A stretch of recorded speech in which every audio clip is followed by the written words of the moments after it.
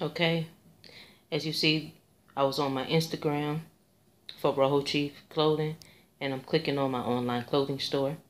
And on here, I have clothes, I got hoodies, sweatshirts. You know, if you like to buy them, long sleeve, short sleeve. I'm clicking on hoodies right now for men, and that's one and then clicking back just to show you uh, fashions that I have for women. Like I have long sleeve shirt. Okay.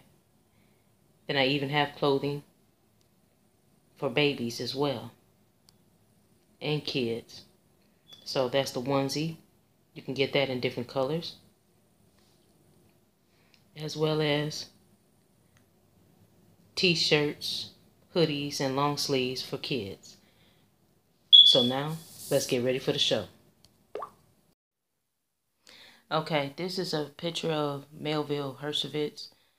Um, they said that he was an anthropologist, but he's a person of Hebrew descent. He went to school at Hebrew Union College, and he also went to school at the University of Chicago. So he had followed the racist pseudoscience of anthropology that was handed to him from Charles Darwin. And he also had was underneath the tutelage of Francis Galton, who was the president of both the University of Chicago as well as the Rockefeller Foundation. Okay? And the Rockefeller Foundation as well as Carnegie Foundation and the Ford Foundation, amongst many others, are the foundations that fund the studies at universities as well as different school systems and trade schools across the country. So, anyway, so this is the guy who basically said, without any sort of true evidence, that black Americans or the people that's known as black Americans today that used to be called American Indians before they was reclassified several times as mulatto, colored, Negro, and lately African American in 1988, which against the majority of the Indians did not want to be called African American, and that's published in a newspaper because they did not feel that they had any cultural or historical ties that will tie them to the continent of Africa. As you see here, this is an image of Luzia, and she was a Paleo Indian, and there was a lot of Indians that was in the mounds in North America and also Central and South America as well.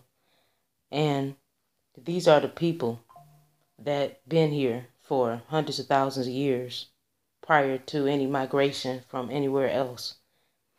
And the thing of it is that Herskovits and all the other people that teamed up with him, they already knew this information, but they tried to cover up this information by coming up with a false narrative of trying to say that uh, so called black Americans descended from people from Africa, where indeed that was a lie because they already knew for a very long time that people, that black people descended from the Indians that look like this and that look like the sculptures in Mexico of the Olmec people and the Aztecs and the Mixtecs and other cultures like the Arawaks that I also did a video about. Please subscribe to my channel and hit the notification bell to know every time when I drop a new video. Thanks.